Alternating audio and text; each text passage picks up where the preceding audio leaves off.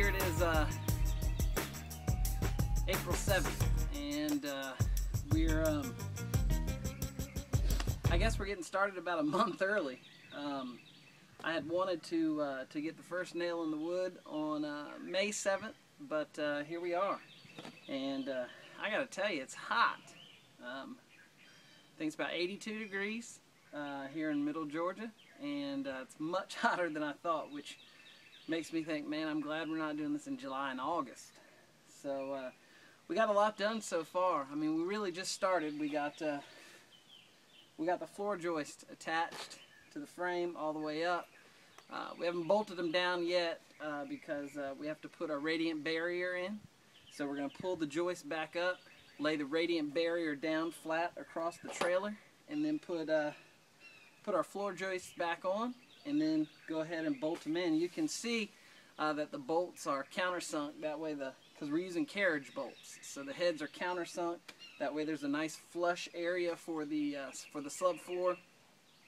And uh, yeah, I think it's time for a break. Be honest with you, we've been out here for about four or five hours. Uh, Crystal was out here earlier, and and Tilly was over there playing the whole time. Tilly Madison just loves it. I mean, uh, she loves being out in the sun and, and just being in her playpen and watching us and probably wondering what the heck we're doing. So uh, it's just been a lot of fun. And uh, man, I can't believe it's really it. I mean, this is this is it. This is where we turn a house plan into a home from this day forward. So I'm gonna go ahead and get out of the sun, take a break, and then we're gonna come back and put some radiant barrier down, and then uh, put the floor joists on and cover it back up with a tarp and call it a night, I think. So, um, yeah, we're done for now.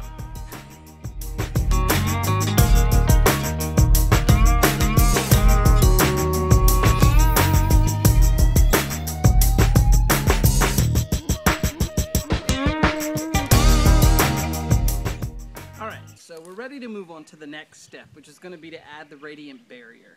Now, in this particular case, we're using EcoFoil White Double Bubble Barrier.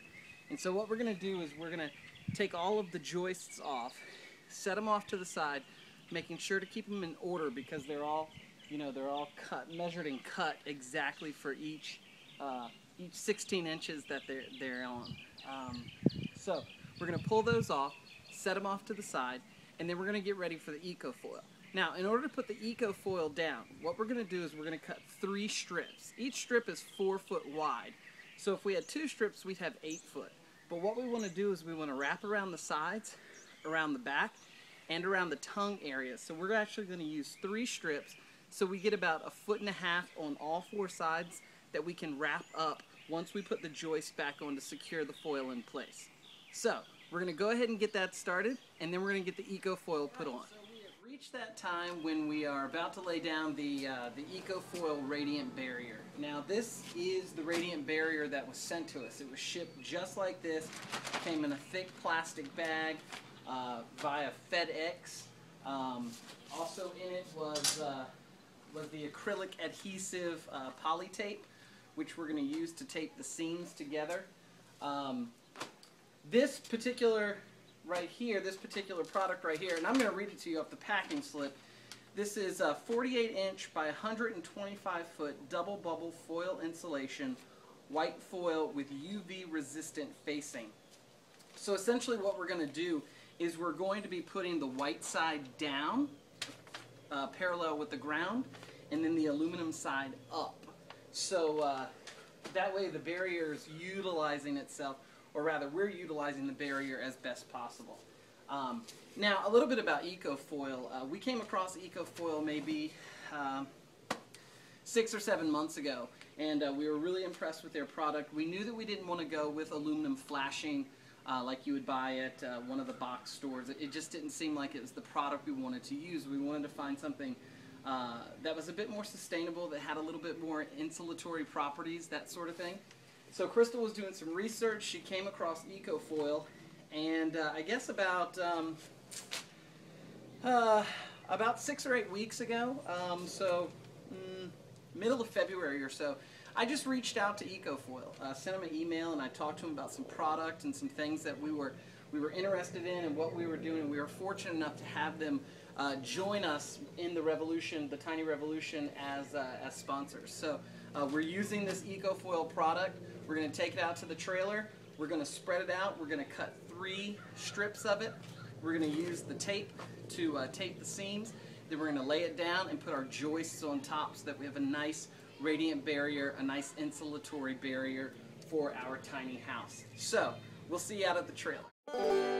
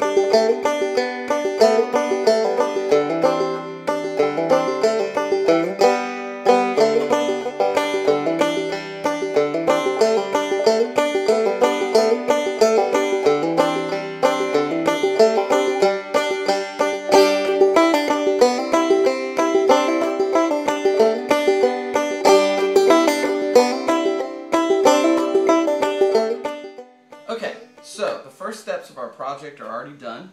We've taken the EcoFoil, we've installed it on the trailer, we've then put our joists down over the EcoFoil, secured them in using carriage bolts, washers, and nuts. Now, I want to remind you that your process, even though you may use the same product, your process is going to be a bit different because every project is a bit different. So I want to review real quick what it is exactly we did. We took, cut three strips of the EcoFoil. Now remember, it's four foot wide, we have an eight foot wide trailer. So three strips created a 12 foot wide quilt of EcoFoil. That way we can wrap up the sides, we can wrap it around the back, and wrap it around the tongue of the trailer as well, underneath of our subfloor. Took two pieces just like this. We then laid one piece down, put a piece of tape underneath of it, took a second piece, joined them together. We put the uh, we put the foil side facing up so it keeps our heat inside our home, and we put the white weather resistant side down so it would reflect the moisture, uh, so it would keep the moisture away from our home while maximizing the insulatory properties of the product itself. So, just like this, we just took a piece of tape, and uh, here we go. Just took a piece of tape, just like that. Laid a piece down on the trailer, then went back with a piece of tape. Took our second piece, joined it together like that. Then we took a third, uh, excuse me, then we took another piece of tape, cut it of course, laid it on top to finish the seam of EcoFoil just like this. So, that was our project. That's how we put the EcoFoil onto our trailer. Again, remember, even though you may use the same product, uh, your project is different from our project, so your application is going to be different, but I guarantee it's a good product to use. We've been pleased with it, pleased with the application. Um, and having said that, I want to thank you for watching this video and for being part of the Tiny Revolution.